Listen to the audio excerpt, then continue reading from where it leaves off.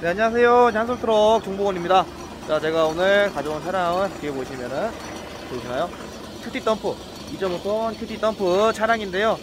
차량은 이제 2016년식, 16년식 차량이고, 주행거리는 계기판으로 9,000km가 되어 있지만, 16만 km, 16만 km 정도 주행한 차량입니다. 자, 외관 한번 둘러보면서 이야기 나누도록 하겠습니다. 자, 차량은 아까 말씀드린 대로 이제 2016년식 차량이고, 주행거리는 약 16만 km 정도 주행한 차량이고요. 마력수는 150마력을 사용을 하고 있는 차량이 되겠습니다.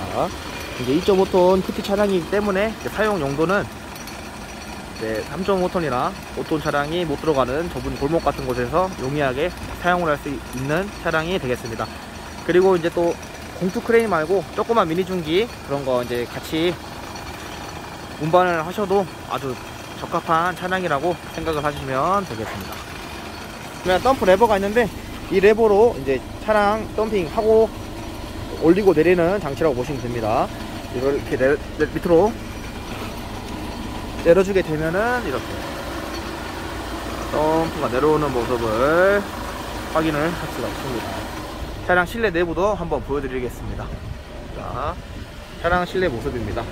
차량은 이제 16만 킬로 정도 주행을 하셨다고 보시면 되겠습니다. 자, 보시면은 계기판은 9300 아까 제가 말씀드렸죠. 제가 오늘 보여드리는 이제 2.5톤 QT 덤프 이제 간단한 간략하게 설명을 한번 해드렸는데요.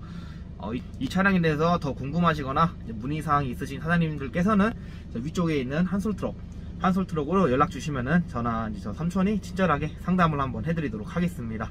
지금까지 한솔 트럭 정보원이었습니다. 감사합니다.